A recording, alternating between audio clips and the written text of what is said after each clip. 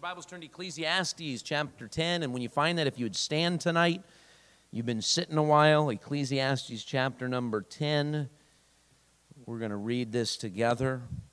Ecclesiastes chapter number 10. Thank you, Charlie, for leading the songs. Thank you, Tia, for playing. Thank you, Brother Jonathan, for playing the guitar. Very soon, we are going to be having our audio uh, upgrade. That'll be a blessing. We should be able to hear the instruments much better through the sound system. Also, by I want to welcome those of you that are joining us by way of live stream and online. Uh, God willing, you'll be able to hear the instruments much better in the future going forward after our upgrade. I do want to also mention this when you find Ecclesiastes 10, Ecclesiastes 10, before we do that, I want to thank those that are participating in our Options for Women bottle drive to help this pro life organization um, that is, uh, um, their main center is in Cherry Hill, helping. Uh, I think their main center Cherry Hill is about three blocks from one of the biggest abortion clinics in South Jersey. And they're starting another center in Trenton. I mentioned this morning a church. I, I looked, uh, I got to see uh, online this last week, a church gave $100,000, and I don't know the name of the church, $100,000 to help them start that second center. To God be the glory, amen? Now, think about it. You say 100, that's a huge, it is. But when you think about a building, okay, you think about a location in Trenton. I mean, $100,000 is a lot of money, but, you know, eh, really, right? There's, there's huge needs, in other words. And so, so to God be the glory. It's awesome. And so don't forget, um, and I want to thank those of you that are online joining us. Some of you have sent in, you've dropped off uh, either uh, donations. Some of you have sent donations from out of state. I want to thank you. And don't forget, next week, bring these back. So it's next Sunday. Next Sunday is the last Sunday. I need you to bring those back uh, coins, cash, and or check uh, to put in here. If you write a check, make sure it's made out to Options for Women. I want to thank everybody there. Ecclesiastes 10, we're going to just read verses 1 through 11. I think that's what I have here. And we'll read responsibly like we do on Sunday morning. And then I'll pray and you can be seated tonight. I'll begin in verse 1. Dead flies cause the ointment of the apothecary to send forth a stinking savor. So doth a little folly him that is in reputation for wisdom and honor. A wise man's heart is at his right hand but a fool's heart at his left. Yea, also, when he that is a fool walketh by the way, his wisdom faileth him, and he saith to everyone that he is a fool. If the spirit of the ruler rise up against thee, leave not thy place, for yielding pacifieth great offenses. There is an evil which I have seen under the sun, as an error which proceedeth from the ruler. Folly is set in great dignity and the rich sit in low place. I have seen servants upon horses and princes walking as servants upon the earth. He that diggeth a pit shall fall into it, and whoso breaketh an hedge, a serpent shall bite him. Whoso removeth stones shall be hurt therewith, and he that cleaveth wood shall be endangered thereby. If the iron be blunt, and he do not wet the edge, then must he put to more strength but wisdom is profitable to direct. And let's read verse 11 together. Surely the serpent will bite without enchantment, and a babbler is no better. I want to preach a message tonight entitled Folly or Wisdom. Which is it for you? I'm going to ask some questions tonight through this message, and I want you to ask yourself these questions. These questions that uh, are kind of brought about by the text here that Solomon uh, brings to us in chapter 10. Let's pray and then you can be seated. Father in heaven, I'm so thankful for every person that's physically here. I'm thankful for those that are joining us by way of live stream. I thank you for your word. I thank you for what it means to me, what it means to the people in this church, what it means to those that are watching. I, I don't think they'd be watching if the Bible did not mean something to them. And God, I pray that during this Christmas season, and it's, and it's a little bit busier for everybody, it really is. I, uh, the, the, Christmas cards, perhaps decorations, uh, uh, maybe the baking of cookies, uh, maybe having people over. And even this year, maybe if things are, are a little bit different and maybe not as many of those things go on, there's, there's more traffic. There's, Lord, it, it is a little busier time of the year, regardless to what extent we celebrate Christmas. But I pray regardless of the busyness, that we would stay faithful to spend time in your word. We'd be faithful to be in your house when the church doors are open. God, please be with those that um, still that are affected by this COVID. I continue to pray for the leaders in our country, give them wisdom, the health leaders and those rolling out, uh, trying to do what they can. And Lord, we don't understand it all. And, and, and Lord, really, the truth of the matter is, some of us are, we, we question things. We, we don't know exactly what the truth is with everything. But we're praying for the health of our neighbors, our friends, especially those that perhaps are struggling. All of us have heard of different people. I know friends that have people up in years that, um, Lord, COVID at least has been a contributing factor to their death. And, and God, I just pray uh, that our country could get back to a, a normalcy. But during all of this, please, God, arrest hearts. Uh, Lord, may people look to you. When people don't understand, would they, Lord, look uh, to your word? would they think about maybe the one Christian they know in their life, that, that one born again believer, maybe a coworker, maybe a, a neighbor in the community, perhaps a family member that they would reach out to and they would say, Hey, life is just doesn't make sense, and I, I need some direction and I need some answers, and I, I believe you have them. And I pray that we would be ready to answer a, a, a, reason of the hope that lieth in us. Now, God bless this message tonight. Help us to listen to pay attention and to receive the truth and to ask ourselves wisdom or folly? Which is the road that I'm on? And help us to choose wisely. We pray in Jesus' name. Amen. You can be seated tonight. This chapter begins with vivid imagery in the first verse. I mean, dead flies. It starts with dead flies. You look at verse 1 dead flies cause the ointment of the apothecary, the good smelling uh, aroma, if you will, to send forth a stinking savor. So doth a little folly him that is in reputation for wisdom and honor. You know, something that smells good turned nasty by some dead in- insects. And, and wisdom is a sweet thing. A, good reputation is such a blessing. By the way, it takes a long time to build a good reputation. It can take just a quick moment to ruin that reputation. I mean, it, it, you can build a reputation for a long time and then it can just go out the door. You add a little bit of, foolishness, a little dash of folly, and everything turns sour because uh, foolishness stinks. All it takes is one rash word, one rude remark, one hasty decision, or one foolish pleasure, or one angry outburst to spoil everything. As Derek Kidner, in his very small commentary, I actually have it in my office, I've got several commentaries on the book of Ecclesiastes. He said this It is easier to make a stink than to create sweetness. That's true, amen? Any of you have children, you know that's true also. but for much of this book in Ecclesiastes, um, Solomon has been singing the praises of wisdom. He's been directing us to live in such a way, the way of wisdom.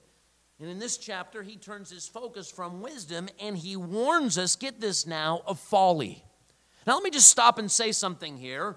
The truth, the truth, the truth, eh, I want you to realize this the truth always gives us the good and warns us of the bad. Let me just say that again. The truth will always give the good and warn of the bad. Now, this is applicable to every area of life. Go and learn to be a crane operator. A good teacher will teach you the right way to operate the crane, all of the ins and outs of the operation, but that teacher will also warn you of the improper ways to use that crane. The danger that you could expose yourself and others if you don't operate that thing properly. Go and learn to be an electrician. You'll learn the cardinal truths of electricity and the good that can come when you wire a house or business properly. You'll learn the laws of electricity. Uh, the right electrical school will also teach you and warn you of the wrong way to handle electricity. What could happen if you're not grounded properly and if you don't respect electricity? It's the same thing in marriage. A wise counselor will apprise a husband and wife of all the blessings and the good that comes from marriage.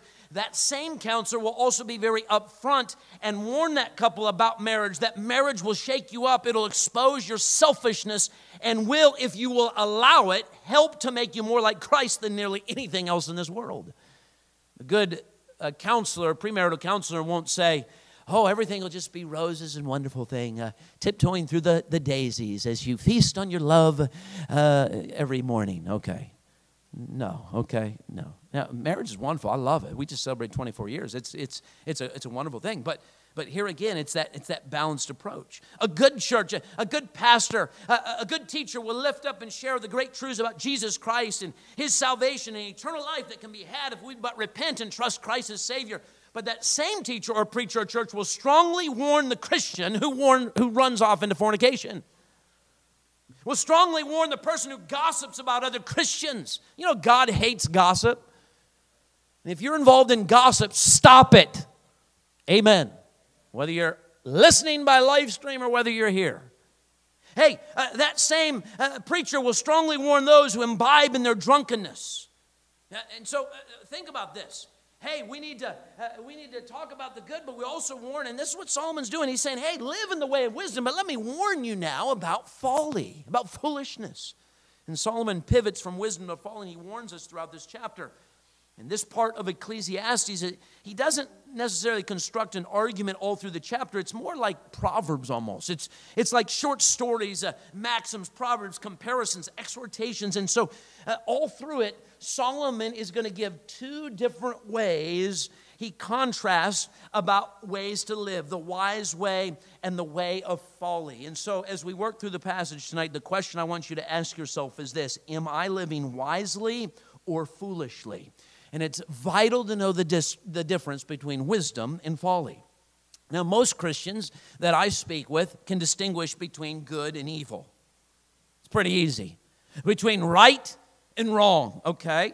Uh, we know things that are morally right, right. For the most part, we know what is morally wrong. And we try to do the right things instead of the wrong things. But some of the most important choices in life are not between good and evil, but between wisdom and folly.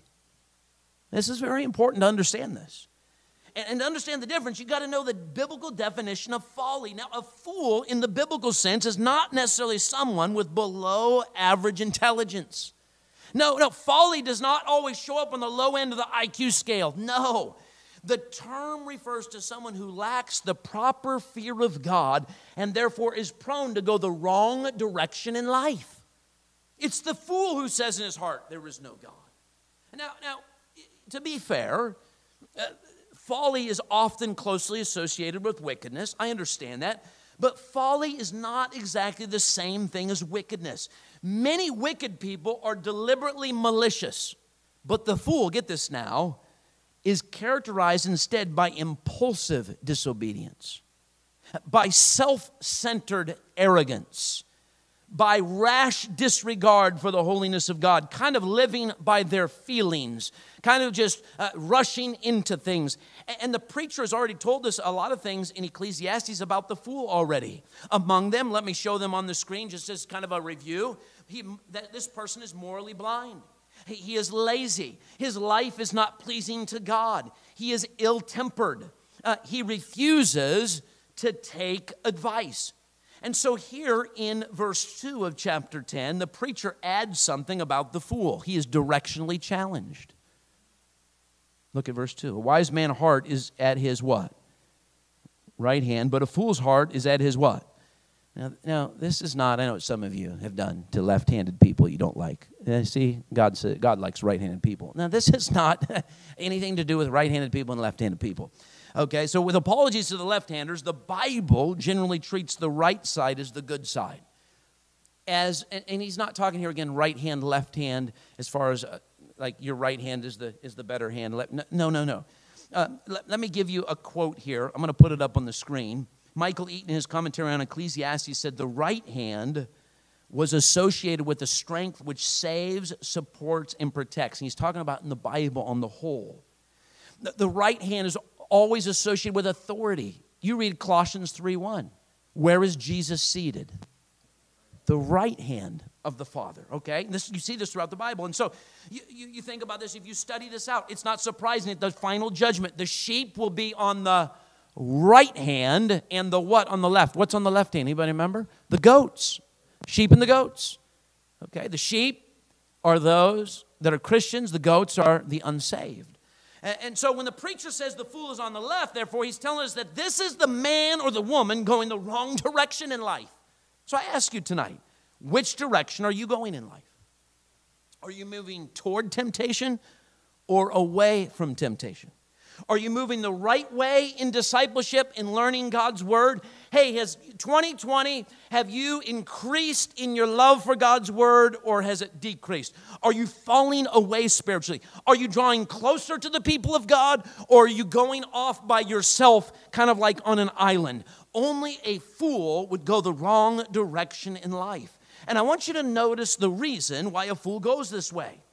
It's because his heart is leaning in the wrong direction. Look at verse 2. A wise man's what is at his left hand? His heart. Now, the heart's the core of a person's being, the inside part of every person that either loves or does not love God. I taught the young people and the junior disciples today there are some things that you can do too much of. I said, What happens when you eat too much? And all the young people gave different answers if you ate too much. One kid, one, one, one uh, one child said, "Yeah, you can get too fat," uh, and everybody laughed. But but you know, there's other things. You could you can become sick. Uh, you can puke. One, one, one child said you could puke, uh, and there's different things. I, I asked, what happens if you shop too much? And there were some good answers. And, and we went through some, some of the different things. But you know what I said? There's one thing you know you cannot do too much of. You can't love God too much.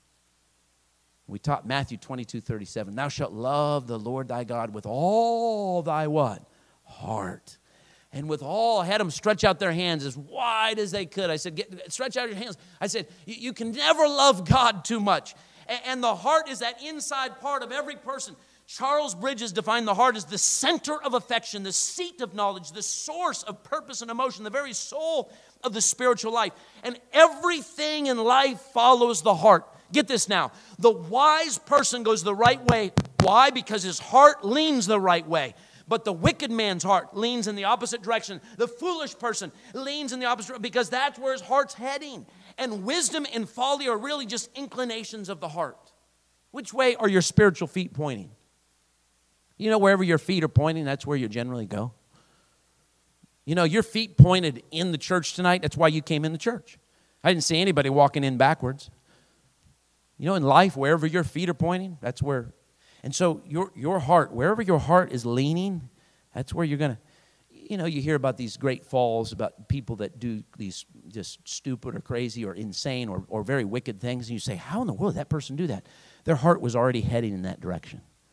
Long before the fall ever happened, their heart was already that way. It was already leaning that way. And so I ask you some more questions tonight. Which way is your heart leaning? Toward God or away from Him? Do you have a growing appetite for the Word of God, or does the Bible taste stale to you? How many ever tasted a piece of stale bread before? You ever, Stu? You know what's worse than a piece of stale bread? A stale chip. It's disgusting. Let me ask you Does the Bible taste like a stale chip to you? Now, don't answer out loud, but, but in other words, is it just like you just kind of like, eh, it's just, it really doesn't, doesn't do anything for me? Um, are you moving toward or away from God in prayer? Are you getting more serious about addressing your sin? And when I say your sin, that one sin that trips you up more than anything else in your life, and it's different for every person here. Or have you stopped pursuing personal sanctification? It is so important to understand that the leaning of your heart determines the direction of your life. And so the fool is on the, the wrong road completely, but sadly, he or she doesn't even realize it. Look at verse 3. Look at this. Yea, also, when he that is a fool walketh by the way, his wisdom faileth him. He doesn't even realize it. And then look at the, the rest of the verse. And he saith to everyone that he is a fool. Well, what does this verse mean? It means that the fool's walking along, not only knowing that he or she is walking foolishly, uh, uh, uh, not not know, knowing, but his or her decisions are broadcasting to everyone who sees them that they are a fool. That's what it says at the end of verse 3. And he, he saith to everyone, he's not walking around saying, I'm a fool. His actions are saying to everybody, I'm a fool. Look at me. You ever known anybody, you look, at, you stand back and you say, I can't believe they're doing what they're doing. Anybody ever know anybody like that? I, I can think of some people right now, the way they are living their life. I mean, these are people I know. These are people I love. Every the decisions they're making, you know what? They're, they, it's like they might as well have a mega a megaphone. I'm living like a fool, everybody. They are. They're broadcasting it to everybody by the way they live and the decisions they make. They're just saying, uh, he's saying to everyone that he's a fool. You see, fools have a way of refusing to listen to good advice. Look at the verse on the screen Proverbs 12 15. The way of a fool is right in his what? Own eyes. But he that hearkeneth unto counsel is wise. And in addition, a fool has a way of doing something that shouts, I'm a fool. Look at Proverbs 13, 16 on the screen. Every prudent man dealeth with knowledge, but a fool layeth open his folly. A fool's like, ah, here it is. You know what I've seen? And some of you aren't in, uh, on social media, but this is what I've seen. I've seen some that have turned from God on social media. They just get on social media and they just let it all hang out. They're just they're they're they're, they're sick and tired of their upbringing from God. And they uh, they've rebelled against their parents and they've just basically said it all. I don't care what anybody thinks, and they just say it. You know what? They're they are a they are a perfect example of Ecclesiastes 10:3. It's like they they just have fulfilled the Bible. I want to say to them, boy, you you, you are a very good case of uh, illustration in the Bible. And I think, what a sad thing. What a sad thing. And so the application of these verses is simple don't be a fool. And God gives us these juxtapositions, if you will, these opposites, so that we can choose how to live. He says, Hey, here's the way of wisdom, here's the way of folly. What are you going to do? And I implore you tonight do not be the kind of person who refuses to listen to constructive criticism. Don't be the kind of person who ignores what godly people are trying to say. Don't be the kind of person who erupts with anger every time something goes wrong. Instead, turn your heart toward God and ask Him to give you grace to choose the right path and not the wrong path, to choose His way and not your way. And that's hard to do. Some, in other words, it's hard to, to choose. It's not always so apparent, especially if we get wrapped up in situations in our life. Now, in addition to telling us how to avoid folly ourselves, the preacher also tells us how to respond to the folly in the lives of others. Now, see, I know what some of you are thinking. Uh, Pastor Josh, it'd be so much easier if I didn't have to deal with these dumbbells all day long, you know? I know what some of you are thinking. Yeah, I, would do okay if I didn't have to, you know, uh, be with all these people that, uh, you know, are, are, are just a little bit, you know, well, never mind. I better not say what I'm thinking, right? Verses 1 through 3 define the, the, the difference between wisdom and folly. Verses 4 through 7 gives us practical advice for dealing with the foolish people we meet in the world. There are many foolish people around. Um, people who do not fear God, they live for themselves, and sooner or later we get frustrated with their folly. You know anybody like this? You just get frustrated. Uh, some of us live with fools, uh, and their foolish behavior disrupts the life of our home. Some of us work with fools, and, and their laziness or their selfish demands or their erratic decision making make the workplace miserable, especially if that someone is in a place of authority or someone that is a boss of yours. And then there are all the fools in government. Most Americans, at least, can relate to one of Mark Twain's. And if you're familiar at all with Mark Twain, uh, he was very witty. And uh, he didn't particularly like government or people that worked in the government, but this is what he said. I'm going to put up on the screen. I thought it was kind of funny. He said, Suppose you were an idiot and suppose you were a member of Congress. But I repeat myself. Okay, now, that's kind of funny. Okay, now, it might be a little over the top. Twain might be, but but it is in keeping with what Ecclesiastes says about political leadership. Look at verse five. There is an evil which I have seen under the sun, as an error which proceedeth from the ruler. Folly is set in great dignity, and the rich sit in low place. I have seen servants upon horses and princes walking as servants upon the earth. Now, unfortunately, I believe it's been since the dawn of time, there are many foolish people in government. And as foolish as they are, they nonetheless managed to work their way into positions of political leadership or they knew someone that knew someone, right? Isn't that what a lot of politics is about? Some are completely incompetent while others use their position for personal advantage. And by the way, it doesn't matter the party. It doesn't matter the party. Every, every, every year there's, there's people on the right and people on the left that get exposed for different things. Happens. Republicans, Democrats, uh, independents, it doesn't matter. I see it and I think, because some people say, well, see, look, this one party, it's all, they're all corrupt. Well, then, then in the next week, I, I remember when um, uh, Newt Gingrich, Newt Gingrich was blasting Bill Clinton for being uh, for the whole scandal with Monica Lewinsky. The following year, was found out he was having an affair with someone on his own, you know, against his own wife. He was he was the he had the he had the political high ground against Bill Clinton. Oh, I can't believe Bill Clinton, what a low sleazeball. And yet he was doing the same thing. He was conservative. I mean, I, from, from as far as ideals, as far as conservative uh, politics, I would, I would more align with Newt Gingrich, but, but it was much a scandal in his life. And some in government, not all, uh, are interested in status more than service. And, and often by the time their folly is exposed, it's too late. The damage has been done. Because when the wrong people get into power, everything gets turned upside down.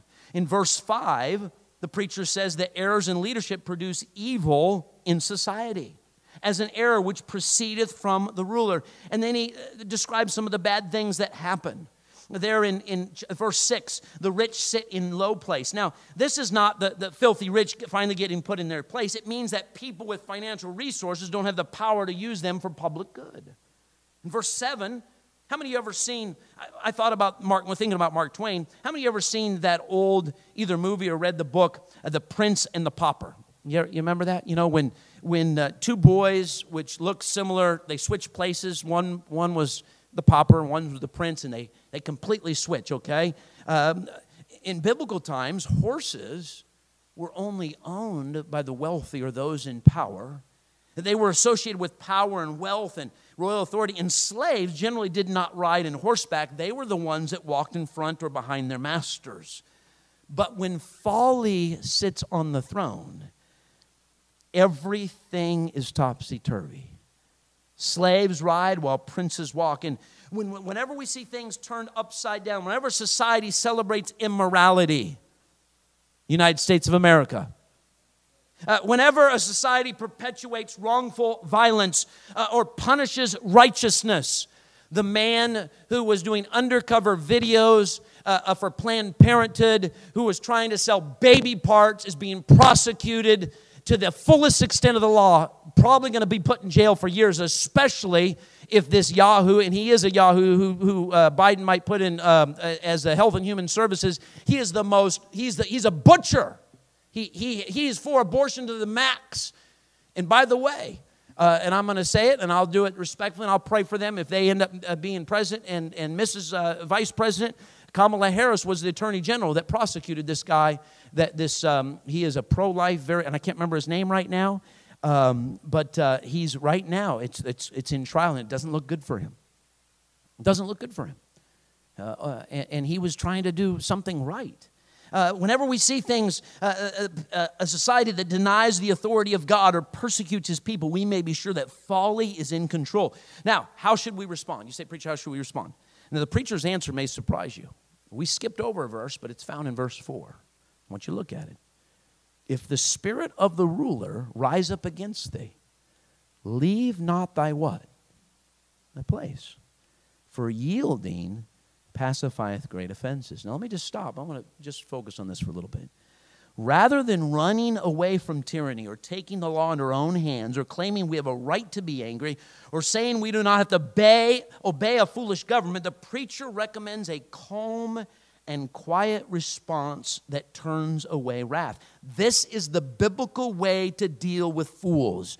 Not by sharing in their folly, but get this now, by living out the character of Christ. Verse 4 describes a bad tempered leader who gets mad at one of his officials. And rather than getting angry about this or walking away as a matter of principle, the official, Solomon says, should stick to his post and speak words of gentle wisdom. And I would submit to you tonight, if you follow me for a moment, the same counsel applies to many other situations in life. Now, Solomon is not condoning verbal abuse nor is he ever saying there's never a time for people in authority to put down a tyrant or for someone to walk away from a fight. There are those times. But the preacher is saying here that ordinarily the best response to anger is to stay, not to run away. To stay calm, not to get angry.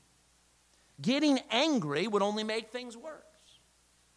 Derek Kidner, in that small commentary I referred to earlier, he said this it's better to have only one angry person than to have two. Now, this is good counsel for workers with an angry boss. It's good counsel for students with an angry teacher, or for parents with an angry child, and for wives with an angry husband, or vice versa. Just because someone else gets upset does not mean that you and I have the right to walk away from a relationship, especially if that relationship is ordained by God and is sealed with the promise the way marriage is. And the way to deal with foolish anger is not to be intimidated by it or to respond in kind, but to keep calm, which we can only do by the power of the Holy Spirit. You know what's very tempting to do? When someone gets angry, it's tempting to say, I'm not going to take it anymore. Now, admittedly, there are times when Christians are called to leave a bad work situation. Maybe God's calling you to move on. Or when we have biblical grounds for separation and divorce. Or when we need to hold an angry person accountable so that the, the poor fool, and I would call that person a poor fool, can get the help he or she needs. But even then, we should act calmly and carefully rather than angrily and hastily. And so, usually, the wise thing to do is to remain in the situation. There are some of you that have been involved in churches before, and at times you felt like, man, I should just really leave. This is a bad situation. But some of you just decided to stay. And you're glad you just decided to stay and just work your way through it. And then there are those who would just bounce around from church to church, church because some little thing happened. I want to encourage you. Uh, look at this principle here. If the spirit of the ruler rises up against thee, leave not thy place for yielding. And now there are times where God will move us on from things. But here again, ordinarily, staying calm is part of God's winning strategy for dealing with foolish anger. I want you to turn to 1 Peter chapter 2. Peter gives us some a similar um, example here. And, and Peter, he had he, he he deals with some people that were a struggle to deal with. He knew what it was like to deal with angry people. 1 Peter 2, like the fools who told him to stop preaching the gospel in the book of Acts.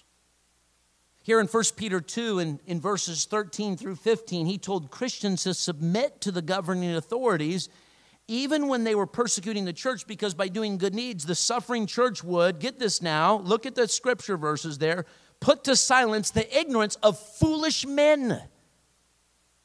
He told servants in verses 18 through 19 to respect their masters even if they were unjust because it's, it's, it's a gracious thing to endure injustice in verses 18 through 19. In chapter 3, he tells wives to submit to their husbands even if they're unsaved, so that with the right conduct, the conversation, which means way of life, that their husband be won by the proper response of the believing wife. Now, if, if we doubt the wisdom of Peter's counsel, we think it's impossible for us to follow, then I want you to look in 1 Peter 2 at the prime example Peter gives us. And this is a passage all of us would do well to learn. Why should we keep serving people who make us suffer? Now look at verse 21. 1 Peter 2 21. For even hereunto were ye called, because Christ also what for us? Suffered for us, leaving us an example. Isn't that interesting? Leaving us an example. That ye should follow his what? His steps. Now, those steps were steps of suffering. It doesn't mean being, being put necessarily on the cross. And Peter points out here what Jesus did. He, he, he did exactly what Ecclesiastes tells us to do. Angry rulers rose against him, foolish men who treated him with contempt until finally they crucified him. Jesus refused to to be dissuaded from what he what God had called him to do. He, he, he refused to fight anger with anger, and he calmly did the work he was called to do. You ever considered all of the anger and the foolish behavior that on the way to the cross Jesus put up with? And not only put up with, but either didn't respond to or responded in love? Now I want you to look at verse 23. Look at this. Who, when he was reviled, this is talking about Jesus, reviled not again. When he suffered, he threatened not, but committed himself to him that judgeth righteously. Boy, that's, that's amazing. By, by, by Christ's calm response, Jesus, boy, he went to the cross. He, he, he carried our sins upon the cross and he forgave everyone. Uh, uh, Father, forgive them, for they know not what we do. And by the way, those of us who will put our trust in him, he forgives all our sin, including, I believe, some of the very men who crucified him. I can't prove it for certain, but I believe the centurion uh, placed his faith and trust in Christ that day, the one who said, Truly, this is the Son of God. Now, I, I can't prove that. I can't tell you emphatically 100%. And Jesus calls us to follow in his footsteps. And so here's the question for you Who is the angry or foolish person in your life, and how will you respond? How are you going to respond? If you constantly respond by running away, now, here again, there's a time where God would call us to, to, to, to, to walk away, and there's a time where God would say, okay, en- enough with that, and, and maybe that in certain circumstances, that relationship. But, but what are you, how are you going to respond? I, I believe uh, so often God would say, okay, just stay, be calm. Go back to Ecclesiastes chapter 10. As we continue on, chapter 10, the preacher gives us further encouragement for wise living when he tells us that folly is self destructive. Look in verses 8 and 9. And he that diggeth a pit shall fall into it, and whoso breaketh an hedge, a serpent shall bite him. Whoso removeth stone shall be hurt therewith, and he that cleaveth wood shall be endangered thereby. Now, what is Solomon telling us? See? Is he telling us that just to be careful? You know, the world's not a safe place. I mean, we know that. I, I, and if we're wise, we'll watch out for danger. I mean, uh, an innocent person maybe is engaged in his occupation and he's accidentally injured. And uh, these illustrations right here in verses 8 and 9, they're just people who are simply doing their jobs, you could say, and they fall prey to the dangers that perhaps are in their occupation. I know, Brother Mike, in your in your role, and, and, and Brother Jonathan, in your role there uh, working on airplanes, and some of the rest of you, depending on the, what you do, Brother Charlie, what you used to do, um, there, there are a lot of safety things. And boy, you got to be very, very careful. And, and, you might be saying, well, it's just accidental. Uh, they're not punishments for bad behavior. And, and, since it's not mentioned, it's just mentioned so the wise person can avoid them. And, and you know, we, we could look at it that way, but I believe there's something else that God's trying to tell us here. The end of chapter 9 and most of chapter 10 about wisdom and folly. Um, I believe the foolish man, and maybe even evil, fell into his own pit. In other words, this was not an accident of misfortune, this was an act of divine justice. God says, okay, you're going to do that to try to injure somebody else, it's going to come back to you. Okay? Uh, something similar happens to a man who knocks down the wall, heedless of danger, breaking a boundary that was never meant to be broken. Folly can be deadly trying to hurt someone else. In the words of Charles Bridges, the old time commentator, evil shall fall upon the heads of its own authors. And I believe for every folly, there's an equal and opposite self destruction. Think about the addict who seeks the calm of the drink or the thrill of the hit, but ends up wasting away or killing themselves. I think about, um, I remember when I was just, just had started watching um, like uh, sports. And I was just getting, I was, I was young, and I think if I remember right, uh, you, some of you could look it up. It was either the 1980 or the 1982 NBA draft. And the see, I was a big Lakers fan growing up. I was born in Los Angeles, and of course, I grew up in Montana, but I was born there. And in the 80s, the Lakers were really good, and Magic Johnson, and all these. Well, the Celtics had uh, acquired in the draft uh, a phenomenal player by the name of Len Bias either 1980 or 1982. So I was either 8 or 10. I don't remember. You'd have to look it up.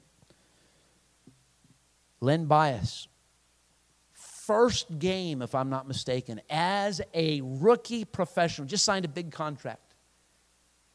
He fell over dead in the middle of the basketball court. Died of a heart attack in the middle of his first game. They found out the night before he was doing cocaine. Night before. His whole life ahead of him.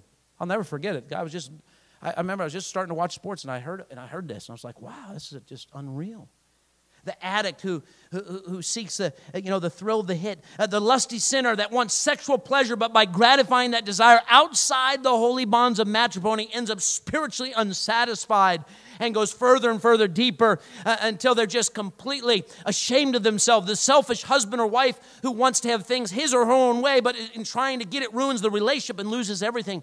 The angry father or mother wants more control, but angry emotions set everyone in the household on edge, which only leads to more chaos and more anger and ultimately less control. Some of the pitfalls of folly. Hey, dig the pit, you're going to fall in. Break down the wall, and the snake of sin will come back to bite you. And there's a wiser and safer way to live, but it'll take some patience And Solomon shows this by giving us a couple of analogies in the next couple verses, the last two we're going to look at tonight. One from a blacksmith and one from a snake charmer. Look in verse 10 11. If the iron be blunt and he do not wet the edge, hey, if your axe is not sharp, if it's dull, and you don't sharpen it, then must he put to more strength. In other words, he's just got to keep hitting more and more and more. But wisdom is profitable to direct. Surely the serpent will bite without enchantment, and a babbler is no better. Now, verse 10 compares wisdom to a sharpened blade as it takes more strength to wield an axe or a sword when the blade is dull. And to cut something in two, a person has to keep hacking away at it. And so, what is Solomon doing? He's saying this is exactly the way foolish people live. Follow me now. They keep flailing away at their work or their relationships without ever making much progress, especially spiritually. And so, what is Solomon doing? He says it would be wiser to sharpen the edge of the blade so it can slice through something with a single blow. In other words, if we're wise, we will take the time to prepare our blade for life. It takes time to sharpen the saw, it takes time to sharpen the sword. But boy, it'll help you in life. This principle applies to quite a few areas of life. Let me just put a few of them up here tonight and we'll I'll just talk about them for just a minute. and We'll be done. Education. Education. Hey, young people, take the time now to sharpen your minds. Learn now. You will be thankful someday. Be sure to get the best training, sharpening skills for effective service in the kingdom of God. Hey, whatever it is God wants you to do in your life right now, learn to the best of your ability. Hey, if you are in school and you are getting uh, grades, C grades, but you could get B grades, shame on you. Sharpen your sword. Get better grades. All of you. All of you. Anybody that's going to school, even college students. Kenzie, you're here tonight. I'm preaching to you too, okay? Do that. I think about relationships. A prudent courtship is far more likely to lead to a more successful marriage than a whirlwind romance. This is important. In other words, take some time to prepare for that relationship, especially when it comes to marriage. I think about ministry. Uh, and, and I don't mean full time ministry necessarily, although it could apply. Before starting a new endeavor for God, make sure your quote, quote, blade is sharpened for the work of God. Make sure whatever you God wants you to do in your life or a ministry in the church that God would want you to start or, or embark upon. I think about business. Business. Make sure the blade of character, if you will, in your life is sharpened. Character and hard work will take you much further than talent ever will. It will. Character and hard work. I ask you tonight, how sharp is your blade? Are you hacking away at life like a fool or staying on the sharp edge of wisdom? Living wisely may take more time at the beginning, but it saves time in the long run. Now, I want to close with verse 11. It's a little more difficult to kind of understand, but I believe verse 11 kind of makes the opposite point of verse 10. And I'm going to I'm going to explain it and then I'll just bring the two together and we'll be done. Here, the danger in verse 11 lies in acting too slowly. Uh, one who is able to handle a difficult matter, that's a charmer. How many of you ever seen either in movies? I've never seen in person. Maybe you've been to a country where they do snake charming. You ever, you ever anybody ever seen that or familiar with that or read about that? I'm not too familiar with it, but this is what this is uh, speaking about here. The one who is able to handle a difficult matter, a charmer, fails for lack of being prompt, being quick. The serpent bites before it's charmed. The serpent will bite without enchantment. You see, once a snake is charmed, it can be kept under control, but until then, it's very dangerous. And so, it's very important uh, for a snake charmer to get busy and charm the snake before it bites because it'd be deadly for the snake charmer. In other words, foolish delay will come back to bite you. And so, you take these verses together, verse 10 and verse 11, it shows us why you and I need wisdom from God. Sometimes it's important to take more time to prepare, other times we need to act before it's too late. Do you understand this? Wisdom comes in knowing the difference. Sometimes you got to act quickly. Certain things in life, you need to take things slower. Ovid, O V I D, he was the famous Roman, or one of the famous Roman poets. He's reported to have said this, and I have it up here for you. At times it is folly to hasten, at other times to delay. The wise do everything in its proper time. Thus, the wise person is never early and never late, but always right on time. Now, I believe this timely wisdom comes just from life experience, some of it. Some of it comes from talking with people who are wiser and get this now, usually older than we are. That's why it's important not to put older people on the back burner. You know, people that are up in years have a lot of wealth and experience and wisdom that we don't. You notice I included we with the young with the younger, amen. But the best way to gain true spiritual wisdom is by listening to the words of Jesus.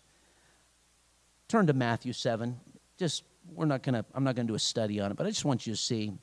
Like Solomon of Ecclesiastes, Jesus knew the difference between wisdom and folly. Now we're gonna close with this little just these last words of Jesus here at the end of chapter 7, Matthew 7. He told a story to show the difference between a wise man and a foolish man. Matter of fact, we sing a song about it. You know, the wise man built his, the foolish man built his. Okay, now look at Matthew 7, verse 24. We see the wise man first. Therefore, whosoever heareth these sayings of mine and doeth them, I will liken him unto a wise man which built his house upon a rock. The rain descended, and the floods came, and the winds blew and beat upon that house, and it fell not, for it was founded upon a what? A rock. Wise man, he took the time and he prepared, and he sunk some anchors in that rock. And when the difficulties and the struggles and the trials, uh, when it came, it didn't say uh, if the rain, it says and the rain descended and the floods came. They'll come. They will come in life. They're coming for you. But the foolish man was much less fortunate because, look in verse 26, and everyone that heareth these sayings of mine and doeth them not shall be likened unto a foolish man which built his house upon the sand. It didn't, it didn't take much for him. He didn't really build a foundation, he just kind of built it right in the sand. And the rain descended, and the floods came, and the winds blew and beat upon that house, and it fell. And not only did it fall, it was a disaster. Great was the fall of it. Jesus not only believed there was difference between wisdom and folly, he also believed it was the difference between life and death. What was the difference? The wise man built his house upon the rock. What did the rock represent? The rock represents the Lord Jesus Christ. 1 Corinthians chapter 3. For other foundation can no man lay than that which is laid, Lord Jesus Christ. Build your life upon the rock. Receive Christ as your Savior, for the foundation is the rock, and then build your life according to, here, here now, the blueprints upon that foundation.